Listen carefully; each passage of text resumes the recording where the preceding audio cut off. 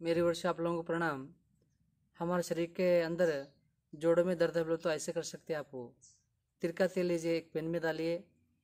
उसके अंदर काली मिर्च डालकर उसको अच्छा सा उबालना है। पकाने, पकने के बाद छान कर रखिए। कहाँ जोड़ों पे दर्द है, उस टाइम पे लगा कर मालिश करने से हमारा दर्द जाता, जोड़ों का दर्द भी कम होता। अच्छा है, कर कर देखिए। प्रणाम।